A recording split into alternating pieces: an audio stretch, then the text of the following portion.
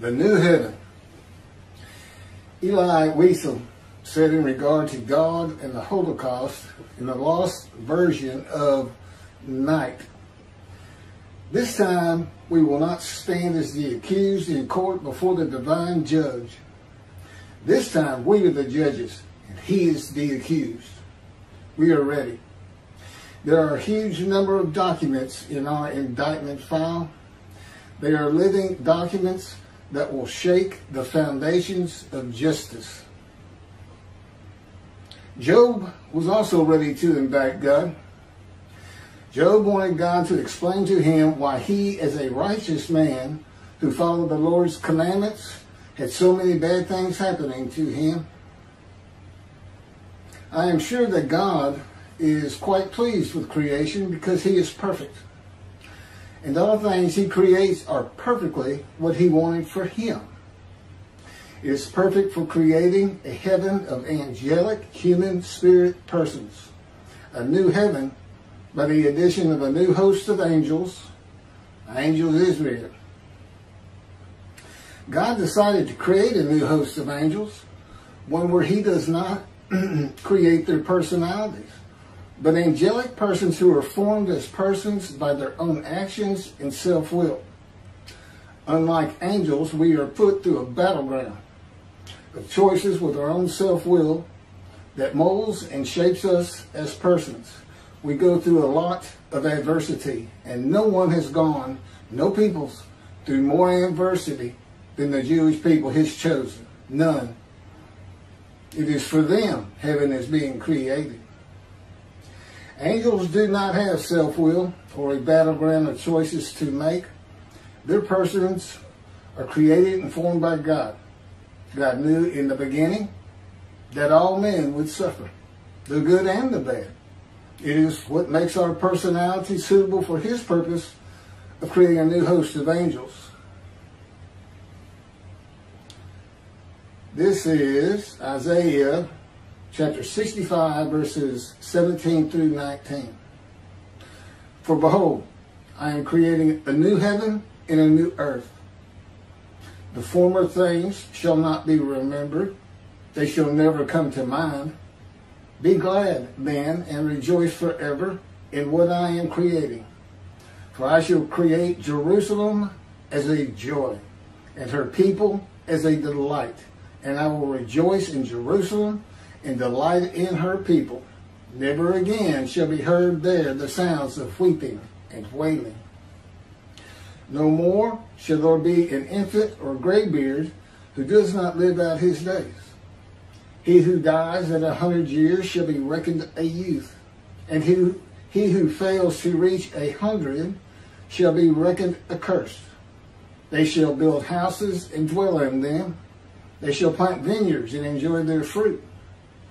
They shall not build for others to dwell or plant for others to enjoy.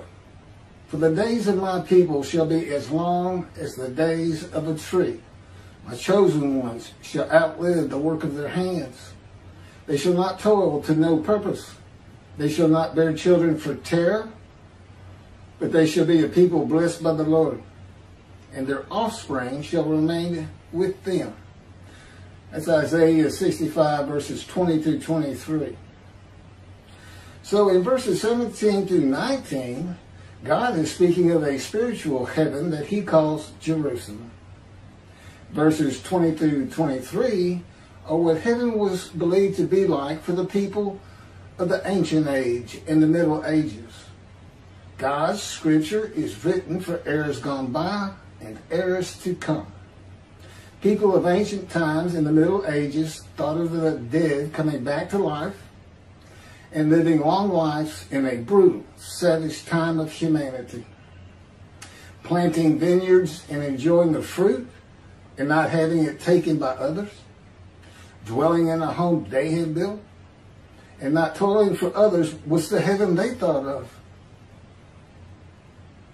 Not a spiritual heaven where you rise to God and live with Him to them, God was always angry and the cause of their troubles. Isaiah 66 verse 22. For as the new heaven and the new earth which I will make shall endure by my will, declares the Lord, so shall your seed and your name endure. God says He's creating a new heaven and a new earth. The new earth will be just as this earth is when this earth is no more. When the final judgment of entry to heaven is made by the Creator, who holds the souls of all men in his hand. The new heaven with the seed and name of Israel shall endure. And God will rejoice in Jerusalem and delight in her people. While the new earth is being formed, God calls the new heaven Jerusalem as a direct reference to heaven being for the Jewish people with the name Israel shall endure.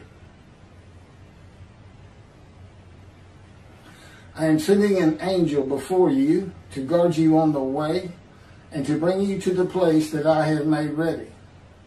I'd like to point out when uh, the verses uh, 22 to 23 for the people of antiquity in the Middle Ages, because that's where their beliefs were. We know, according to science today, nobody lives to be 100 and is accounted a youth. If they were accounted a youth, that would mean the lifespan had just raised to a thousand. That doesn't happen. That's how you know it's for them. But somehow, these phrases get worked into the Messianic era. And, and that, that's where Judaism has just fallen down and just, just completely lost their way. Completely lost their way. Thinking these kind of things that God puts in for the people who first read the book or first heard the stories, hardly anybody could read. It was for them first. And you have to, you, you, you cannot just rely on your sages and rabbis and your Talmud, which is based on stories from antiquity and through uh, up into the Middle Ages. You got to reread it. You got to look at it and say, oh, oh, this Messianic era, that's it's just, well, we know it can happen. And we know God in his power has never changed the minds and will of all men on the planet, or even a small part of them. We have to rethink this. Hey, I know. Let's look at the covenant of friendship that comes with Moshiach. And God returns to his temple, and the angel of the covenant that you desire delivers the covenant of sin forgiveness.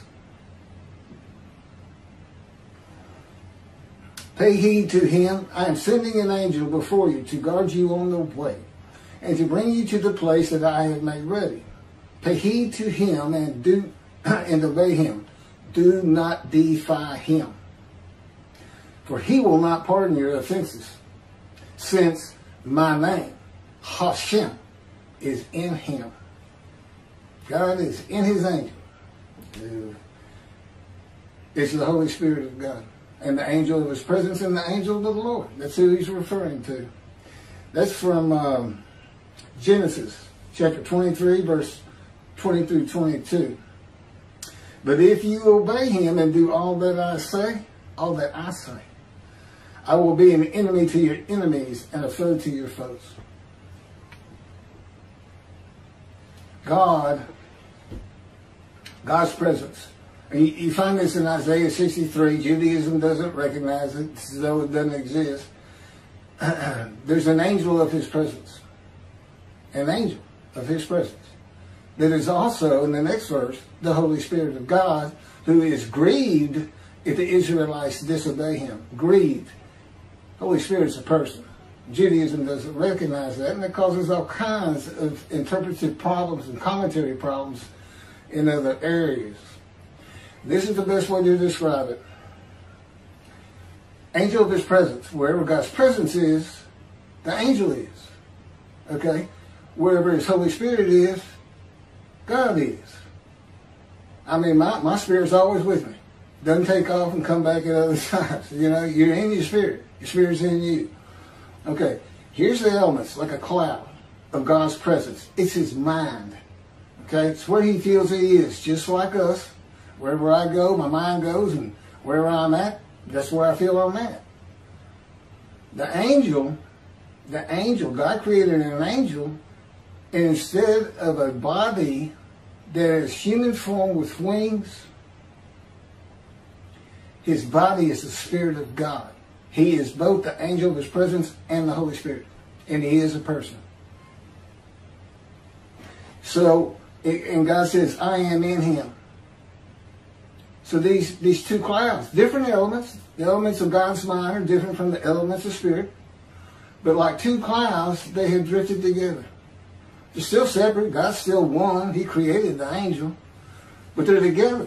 So when the Spirit alights upon a man and enters him, so does God himself, his very presence. So in Isaiah 11, verses 1 and 2, the Spirit of God alights upon the twig of the shoot of the stump of Jesse, which is the descendant of King David, the anointed one, Messiah. God alights upon him too. He becomes a man and divine beings. The divine beings being God and uh, the angel of his presence. That's the divine beings. And of course, Judaism, because they don't recognize the angel of his presence, the Holy Spirit, when Jacob says, I wrestled with a man in divine beings, they, Judaism interprets that today, he wrestled with an angel. No, he actually wrestled with a man. And he just happened to be a couple of divine beings there who were uh, orchestrating the entire event so that God could speak through the man to Jacob and rename him Israel.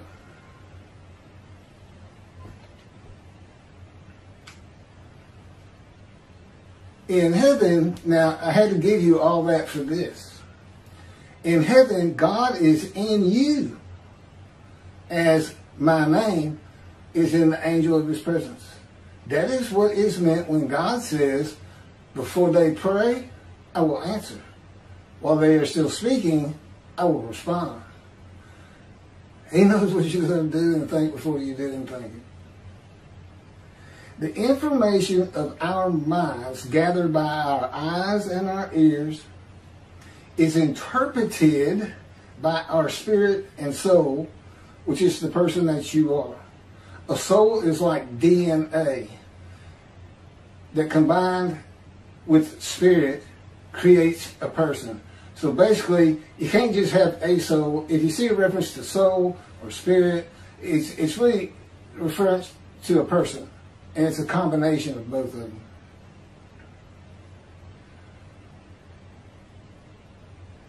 Which is the person that we are. Our spirit can read the electrical impulses, chemicals, and different in different tissues of various parts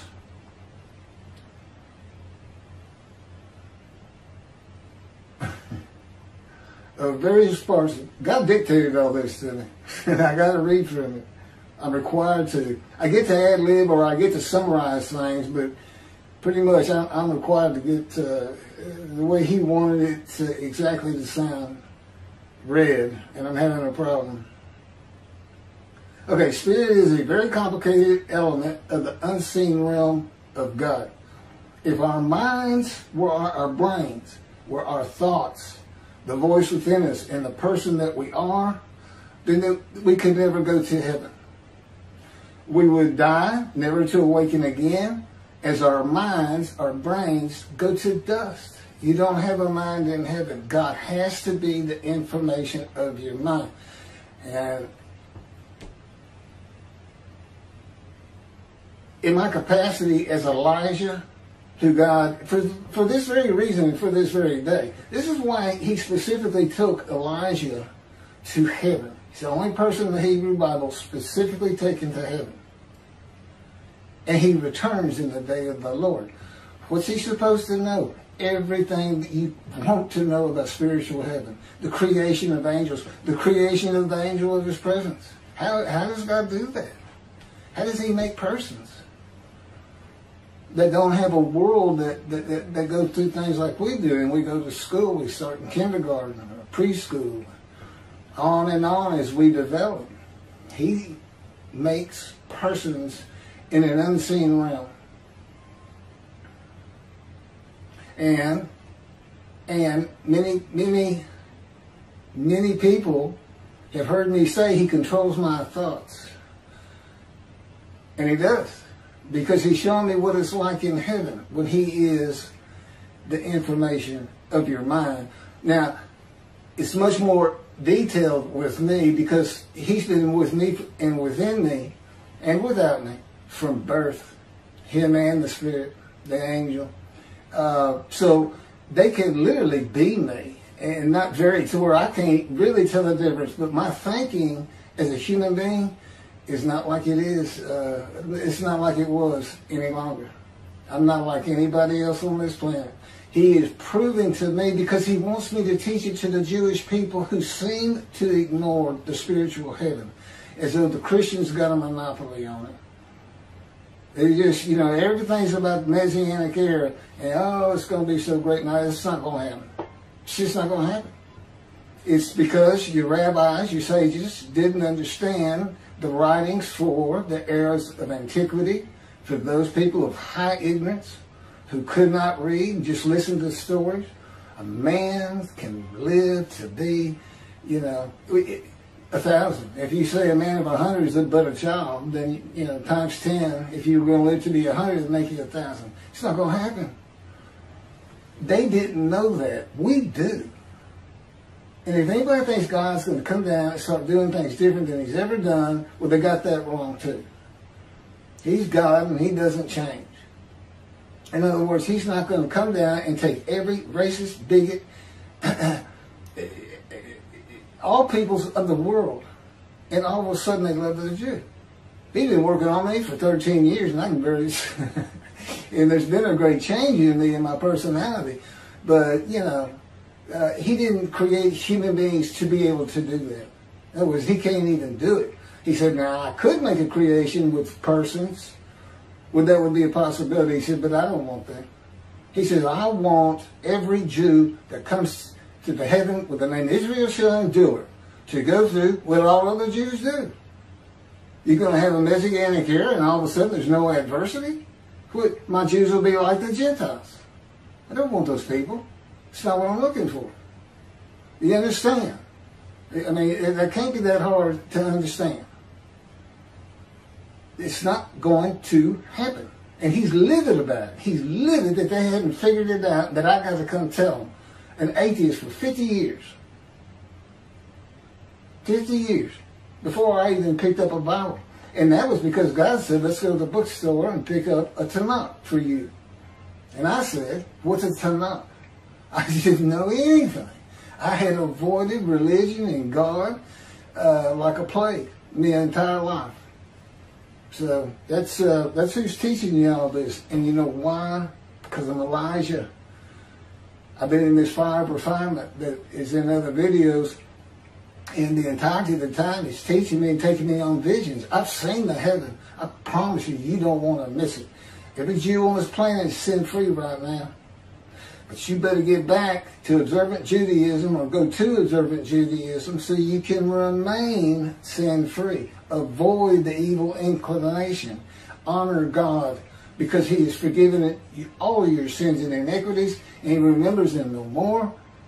He's given you a clean slate. Let's all start over. Just got back. Here's my covenant of friendship. Here's the things I'm going to do. And one of them is I'm going to place my sanctuary amongst you.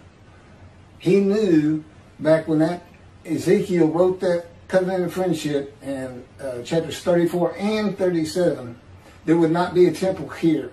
And that's what that's what Elijah is told to do in Malachi 3. Clear the way for me. Clearing the way is having the third temple built. That's a heck of a task. But nobody wants to hear about Elijah. Well, Elijah, we don't know if he comes before or after Moshe, King Moshe. There's no King Moshe. Rambam, well, I'm going to get to Rambam. I'm about to do a video on him and his two chapters of King Moshe that he fabricated made up. Because he's a shepherd, there's almost nothing on him.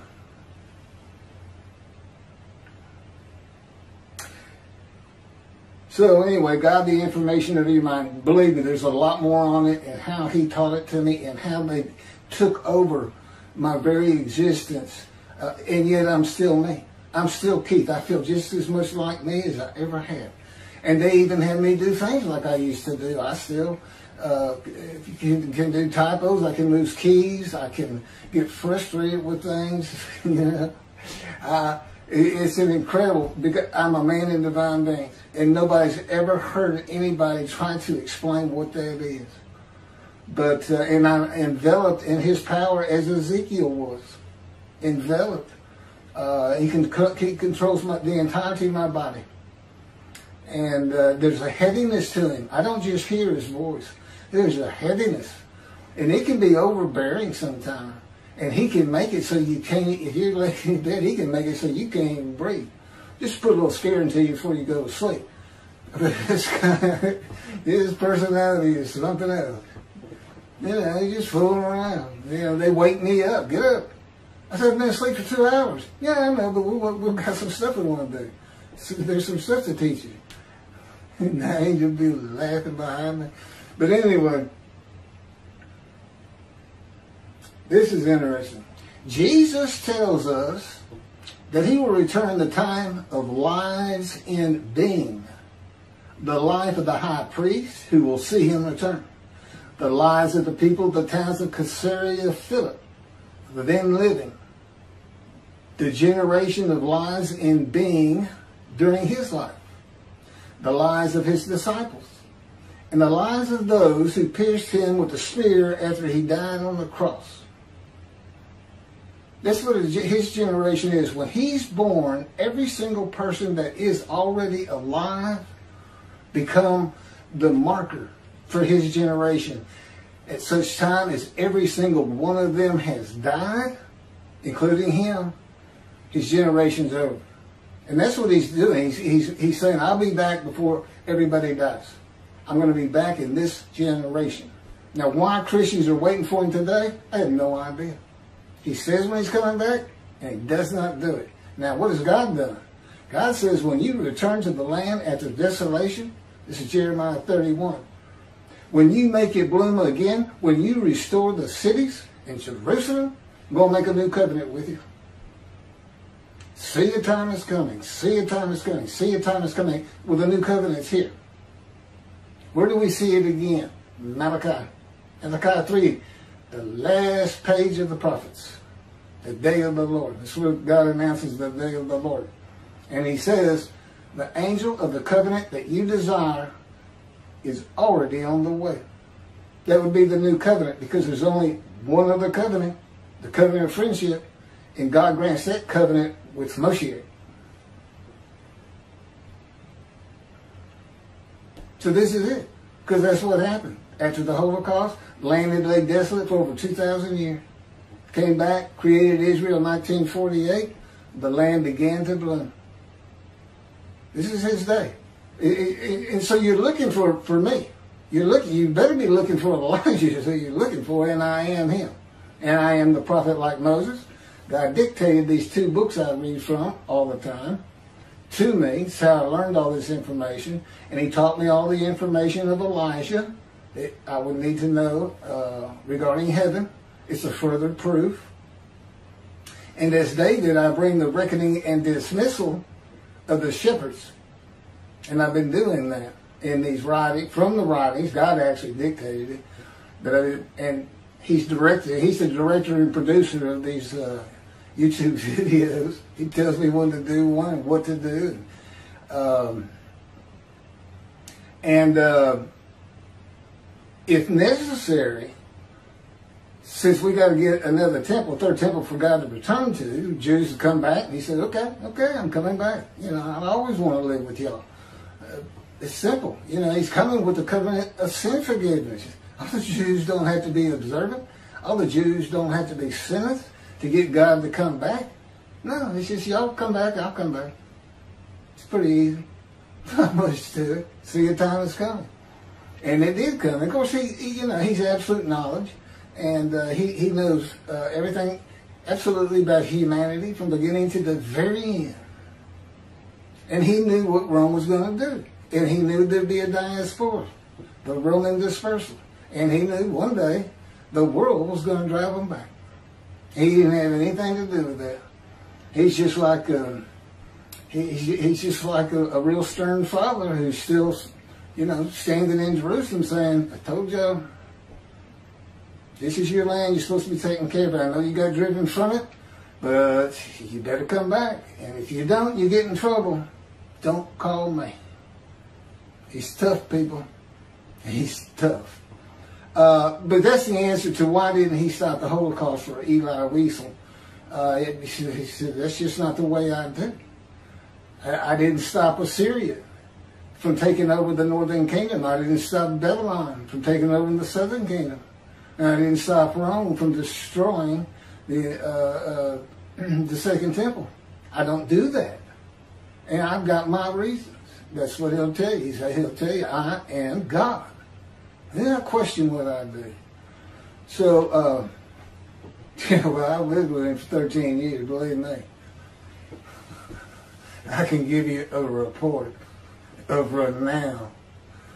Um, they're all dead now. All these people Jesus references, they're all dead now for close to 2,000 years. Jesus spoke five prophecies of his return with a specific time frame, lives in being the measuring lines, and the prophecies fail.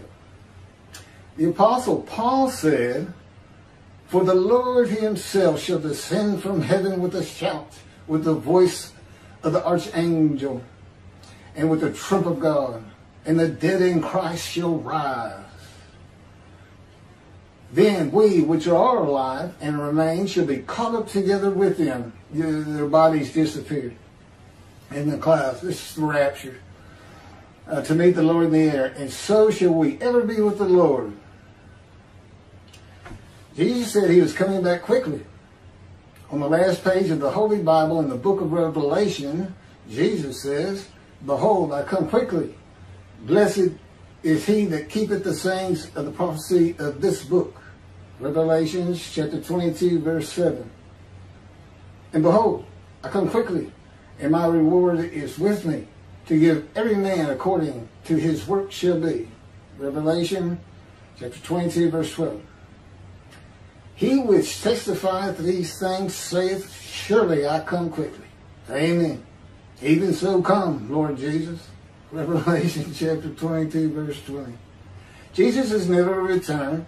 For almost 2,000 years, the dead in Christ and those alive during those years have waited to rise to heaven his prophetic announcements did not happen. There are no Christians in heaven, according to Christianity. The time for a quick return has long since passed. There's no reason or, for, or foundation to believe by faith or otherwise that he will ever return. Heaven is only for the Jewish people. If the Christians, Noahides, Gentiles in general want to see heaven, they will have to convert to Judaism. Let me add this. Jesus is a myth. He never existed. Period. He's a story. I got plenty, plenty of information on that in the books God dictated to me. He dictated an argument so sound that Jesus doesn't uh, didn't exist. That uh, it's you know you could take you, you, you could put a jury, as far as I'm concerned, uh, uh of uh, of Christians and convince them to come back, if, if they were going to be truthful, come back with a, with a verdict of he didn't exist. And there's reasons for that. I'm not going to get into those. Uh, there was one other thing.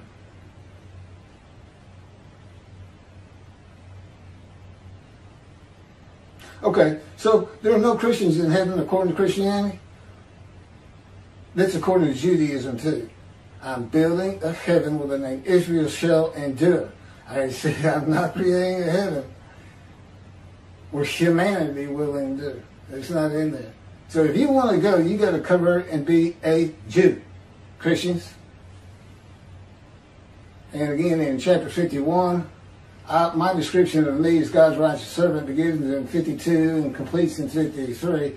In chapter 50, 51, God says to his people, I'm taking my cup, you know, my bowl, my cup of real, no, I'm taking my cup, my bowl of reeling from you and giving it. I can't, My camera only goes for half an hour.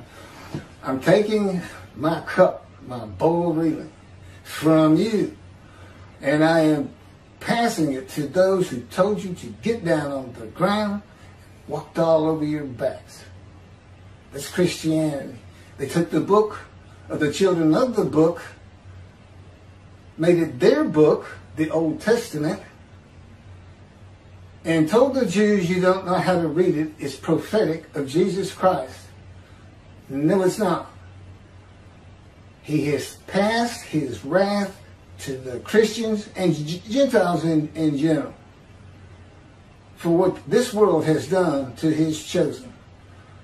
Jesus didn't return. God has returned, and I am his representation. I am his Moses. In addition, I'm Elijah for teaching heaven, and David for the reckoning dismissal, and, and I can purchase a new plot of land on Mount Zion. We don't have to have the Temple Mount. We don't have to have it. In fact, two things. One, it's been sullied by Islam. And two, it's not big enough. It's not close to big enough. But as the descendant of David, which is proven by the Spirit of God alighting upon me, which is my anointment, I become the anointment, I become Moshiach.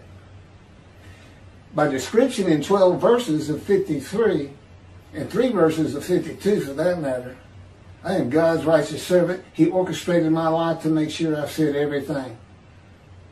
Jesus Christ doesn't said any of them, except for verse 12 where it says he's a sinner because he is the biggest liar and deceiver in the history of mankind. And I have backed that up over and over from the book God dictated to me uh, on these YouTubes. You can find them. You can find them. So God did what he said he's going to do, and we all know, we all know, there's no Allah.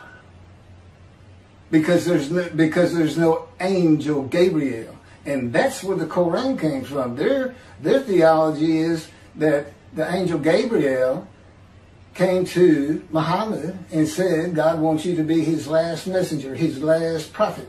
They had that on their mosque, the last prophet of God, the yeah, I think it's the last lost prophet of God. It's in stone. Well, they got something they need to hear. The last prophet is God's righteous servant, Elijah, the prophet like Moses and Moshiach, David. Three religions, all said to stem from and come from Abraham. Well, guess what? The God of Israel is here I am his representation by description, by anointment, by the Spirit within me, by my knowledge of heaven, and my ability to write these books for God as Moses wrote the Torah. Enjoy heaven. I've been there so many, I know everything about it. I've seen the very room that will be mine. I've seen the meeting places. I've seen, I've seen the creation of the new earth. I've seen God, I've seen what God's going to do. He's going to have another chosen. It's going to be a repeat. And if you're a Jewish person, you don't think you don't want to sit on your balcony and watch creation? All I saw was the beginning with volcanoes and tectonic plates moving, this and that, when I was uh, actually in my room from a bay window. But uh, even I'm interested to watch that. What was it really like for the Israelites? um, the Hebrews and the Jewish people and how it involved and, and what was it like in the 1950s and 60s for this next group? Did they go, are they going to go back to the promised land without, without being, uh, go through a Holocaust? It's going to be really interesting. You don't want to miss this. The new heaven. And I've had a lot of lessons there. God can put me in a vision in a snap. And he also sends pictures to my mind, for instance, throughout everything I've said in here. They just, you know, it's not a, a vivid watching TV vision. It's not a vision that I'm in, but it's just pictures of what I'm talking about to keep me under, to keep me from getting off track. It's like, you know, go this way, go this way, man. And of course, I got this written down, but I mean, that's true in regular life and everything I do. Uh, so Uh, picture visions is what I call them. And that's because they control my mind so much and, and teaching me that in heaven I can do this too. Again, again, uh, you know, my experience is, is, going to be different from anybody else's because they know my mind from from from the beginning, from birth, and they don't they don't follow people like that. They, they can they can know anybody anybody they want to have something to do with, and, and, and everything they need to know about you just by quote looking at you. But with and so this is very important what you want to do is get back to uh, uh, or begin observing Judaism. You want to learn as much as you can. This is part of writing Torah on your heart. Remember, you've been forgiven of all sins, and we got a temple to be built. And if I don't get it done, when God comes, He's coming with utter destruction. Now, He's already here, but what He's saying is, when my temple should have been ready, that's when I'm coming. And if it's not there, I come with utter destruction. And what He's also really saying is, you don't get that temple built, the Middle East is going to destroy you eventually. You build that temple, there ain't no I'm in it. That's why you'll never be defeated and dispersed again. So that's just a decision the Jewish people and the government of Israel is going to have to make one day. You know, I don't know how long it'll be before I ever make it there. It's, it's been real slow. But we'll see. You never know when things can just turn and we finally get a believer. You know, I'm supposed to make the many righteous, and I'm quite certain I will because it's scripture. It's prophetic from God. But uh, it's it's slow. It's very, very slow. People, you know, I know observant Jews pray for Moshiach daily. And, uh, you know, he shows up Isaiah 53 says that's what he's described. That's what the sages said. They, they knew you had to have a description of a man. Moshiach, Moshiach, come, Moshiach, come. Hell, well, I'm here. You're reckoned with and dismissed. Now, it's as though they don't even know that. And they're preaching this Messianic era. And people fall into that trap. They don't think about utter destruction. Well, we don't have to listen to him. We're going to have a perfect, the world's going to love us. We're going to be exalted everybody's going to realize that we've been right about God all along. Nobody's going to have to work. The whole world will exist, but to know God. No, it's not. Don't fall for that tripe that comes from the rabbis, from misreading eras of antiquity and Middle Ages versus ages of reasoning, being able to think, stepping outside of the box. You're not going to have a resurrected dead that can't happen. You're not going to have the dust of the Israelites who were slaves turn in to human beings. You know how many people you're talking about? And the government of Israel would have to take care of them. It couldn't do it. It wouldn't even be close. It would destroy Israel if such were a true thing. Trying to tell people of great ignorance such a fun story and people coming out of the grave. They didn't know that people couldn't come out of the grave. They didn't know that. We do. And everybody gets embalmed anyway. Sorry. It's just, and dust can't turn into a body. But we're going to make Judaism more realistic before I'm, it's my life said and done. I'm 64. Um, my proof for Isaiah 53.10 God chose to crush him with disease, that if he would offer himself for guilt, and there's a lot to that that nobody knows. But I mean, you can know it. It's in the book and it's in, on YouTube. Uh, offer himself for guilt and give him long life. I came down with colon cancer. I fought it for a year and a half. Uh, they removed it from my belly, and uh, I took the chemo. I survived it. But it spread to my lungs, it metastasized. It was untreatable when they saw it. They said, um, a month, a month. It won't be long. Prepare to die. And I never seen a doctor again since that day. I left the hospital and crushed me. I went quit work, you know, started spending my savings. I didn't care about anything, just waiting to die. And uh, that was when the planes hit New York 20 years ago. God crushed me with disease. And he's told me about it now. Uh, he crushed me with disease because I've been given long life. It doesn't even affect me. And that's that, that's scientifically impossible, by the way, in case you don't know. It takes the power of God Himself. And that's the proof, because that's a hard one to prove. I can prove how much I've been wounded, a man of suffering, familiar with disease. I can prove all that. But, you know, it gets, uh, that, that's a tough one. Did you, how do we know you offered yourself for guilt? And of course, nobody knows what that means until now. I'm the only man who's ever been able to explain it. I'm not going to go into it. This this video is getting too long, but it's out there already. Um, and and that, that that's my proof of it. I was supposed to be dead, and that was 20 years ago. I'm still here, and I'm doing all this, and I got all this information, information where I'm trying to straighten Judaism out, and I back it up with the scripture itself. I back it up with telling them this is how you read the Bible, Jews rabbis, you cannot believe that a man of a hundred years is thought of as a youth. It, those kind of things don't happen. Don't be foolish like all that. You know, you're not you're not that far away from the foolishness of the human sacrifice religion, Christianity. You're not that far away with some of this stuff. And to be honest, I believe most religions end up with a utopia.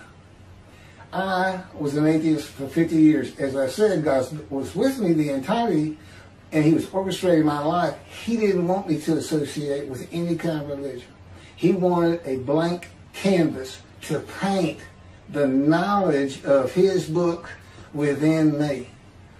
And that's why I know what a man and divine beings is. Plus, I am one. And you really can't figure out 53 which the key to it is Ezekiel. That, that's my backup. I say I got scripture. It's the entirety of the book of Ezekiel because he went through what the man of 53 does. There's just a few differences. And nobody's ever seen that. You have to be going through it. And plus, you got to have God explain it to you. And I, I, I never, I, I could have read the, the Bible, uh, Hebrew Bible, a hundred times, and I couldn't have, I couldn't have come up with anything better than, than it has been come up with thus far. But no, I've got the answers because I have, I have the author. The author is God himself. Every bit of it, it's not just the Torah every prophet wrote his book, so to speak. If, it, if the prophet couldn't get it done, he had another man do it in that prophet's name. Every prophet was a man in divine beings. And uh, there's a lot of other information like that I have that is the proof of who I am. Now we know Jesus isn't coming back. They're not the religion of Abraham. We know we know that Islam basically just plagiarized, plagiarized the Hebrew Bible, putting in their own social mores and this and that, that and this. But they basically just plagiarize it. There's no angel Gabriel. Even in the Hebrew Bible, the book of Daniel, he's just a man. He's just a man in a vision. And of course, I'm now with God, and I know there is, never was, an angel Gabriel, period. Now, the Christians kind of puffed, you know, they took what was in Daniel and did mentioned him some more as an angel. This man became an angel because of Christianity. Then Islam picked up on the angel, and then they came up with the Koran. Now, it's the God of the Jewish people, the God of Israel. And he's here, and I got to get a temple built, because if I don't, I'm going to feel I'm responsible for the deaths of today 7 million Israeli Jews. Because if I don't get it done, if I don't clear the way, and of course he has to direct me, he's going to cut, utter destruction comes to the land. You will be defeated and dispersed again. That's how serious this is. Thanks for listening. I got I got to do two more of these tonight, God says. I have fun doing it, but I get tired.